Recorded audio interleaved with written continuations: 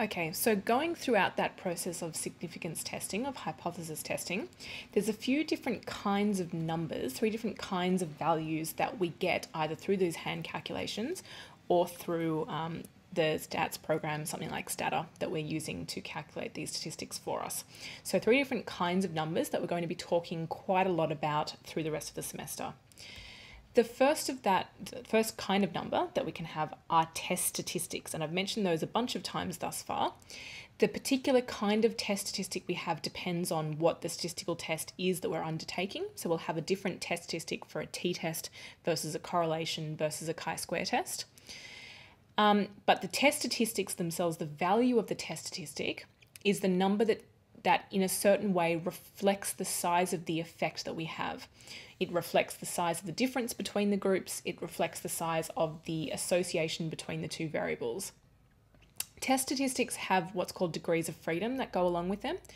I'm going to be explaining more about degrees of freedom next week when we actually start talking about t-tests. But degrees of freedom are certain values that reflect the sample size that we've under that, that we've um, obtained the data from, the size of the sample that we've that we've got the data from, and it they also reflect how many certain parameters or how many values we have that are free to vary in the specific statistical test that we're undertaking. The second kind of number we have is called a p-value, and I've talked about them quite a bit so far today. The p-values correspond to the test statistic, and the p-value tells us the likelihood or the probability that we've obtained this particular test statistic if the null hypothesis is true. So the probability that we've obtained this pattern of data if the null hypothesis of no effect is true and we use the p-value to conclude if we have a statistically significant effect or not. The third kind of number that we can talk about, which I would tell you is the most important of those three numbers, is an actual way of representing the size of the effect itself. So I said to you before that the test statistic to a certain extent reflects the size of the effect, but the test statistic, the value of the test statistic is affected by a whole lot of different things, and the size of the p-value is affected by a whole lot of different things, which don't inherently reflect the actual size of the effect. There are other things that affect the size of those values beyond just the size of the effect itself. The effect size calculation or the effect size number is a more pure way of looking looking at how big the size of the effect is. And effect sizes are really, really important, particularly when we're doing applied research, because they tell us how practically important or how practically meaningful this particular effect is. Um, that might not seem like it makes a lot of sense to you at the moment, but when we actually get into some of the examples from next week on, hopefully it will make more sense. So the effect size tells us the the um, actual value or the size of the effect, the size of the difference between the groups, the strength of the relationship between two variables, and in particular, how meaningful or how important the effect is. The meaningfulness or the practical importance of the effect is often quite different to the statistical significance of the effect. And that's because there are other things that affect the statistical significance, such as the sample size. And again, I'll go into more detail about this next week. So effect sizes plus confidence intervals are going to be very important values to discuss when we're undertaking research. Confidence intervals are ways of looking at a non-precise estimate, but an interval estimate, um, and they give us kind of a buffer zone around our effect size. So if I predict that there is, say, a medium-sized difference between the groups, the confidence intervals, um, specifically 95% confidence intervals, are usually the ones that we talk about in psychology. They give us kind of a buffer zone about where we think the real effect lies in our population. So, based on the size of the effect in our sample, between what two values do we think that the real effect lies in our population? And again, I'll go into more detail about that next week. And just to finish off, there's also obviously different kinds of statistical tests. So I've mentioned a couple of them throughout today's lecture. Um, we could do a t-test, we could do a correlation, we could do a chi-square test. There's lots of different kinds of t-tests. There's multiple kinds of chi-square tests. You haven't learned them thus far, but the rest of the semester is going to be talking about these different kinds of tests and which particular kind of test to do when. And that's possibly one of the most important things for you guys to learn from this course is when is it appropriate to apply a say a chi-square test versus a correlation? Under what circumstances are each of the individual tests relevant or appropriate? And the answer to that question um, depends on a few different things. Firstly, the design of the study itself, so how the study is actually designed, what's been manipulated versus not manipulated. It also depends on the research question and the hypotheses, the particular hypotheses that the researcher predicts. It also depends on the type of data, and we talked a little bit a couple weeks ago about different kinds of variables, say categorical variables as opposed to numeric variables. So, what kinds of variables we have will dictate what sort of tests we use.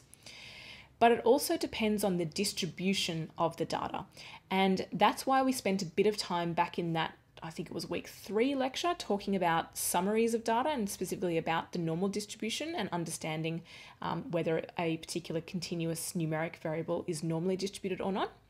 So, the type of distribution of the data, specifically whether it is normally distributed or not normally distributed, will also dictate to a certain extent what kind of statistical test we run. Okay, so a few points to finish off today. The first one that we started talking about is that the normal distribution is really important and it's also really useful to us.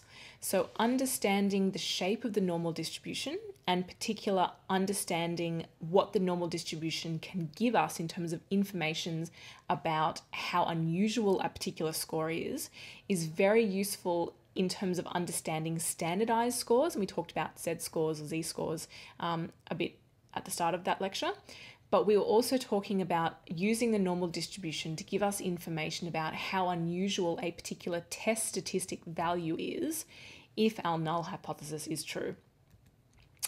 Then we went into more detail about null hypothesis significance testing, and I mentioned to you that the reason that we need to undergo this kind of inferential statistical testing, making an inference from a sample back to a population, is that it allows us to get information about how likely a particular effect is in the population, in the wider population.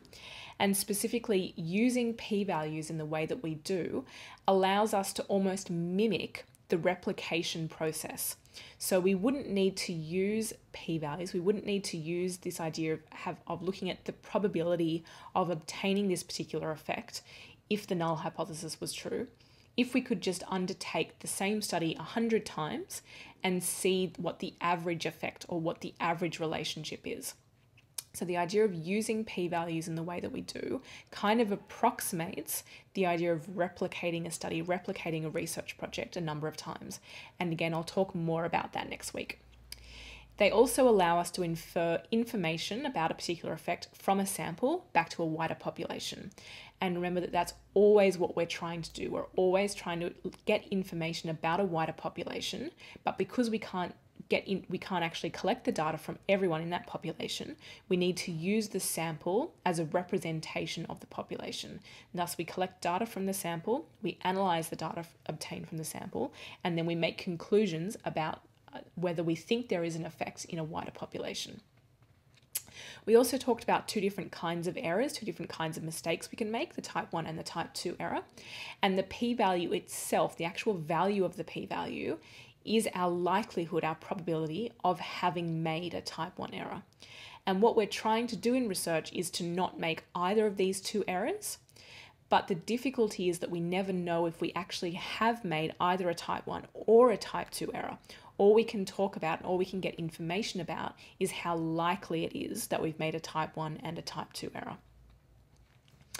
We also talked relatively briefly about one versus two tailed significance tests.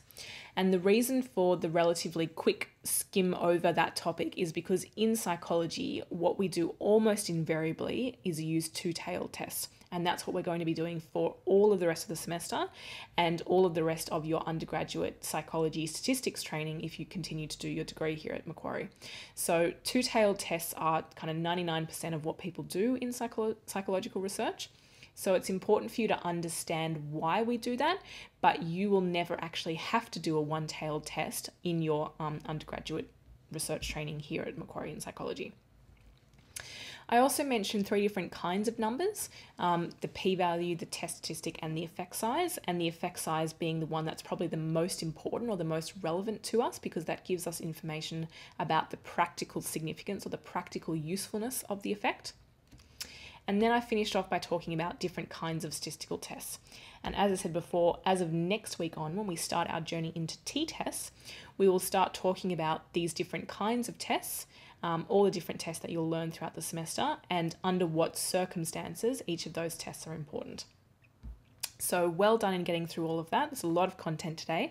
As I said to you at the start of today, I know it was quite theoretical, a lot of the information, but as we actually go to apply the test from next week on, hopefully, because I'll be reiterating a lot of what I've said today, it will make more sense to you in a more practical setting. The most important things you get away from today are just the fundamentals of why we do null hypothesis significance testing and what that involves. But as we go throughout the rest of the semester, I think it'll make more sense to you in terms of how we actually undertake that and what the implications of all of these steps are. So well done, and I'll see you guys next week.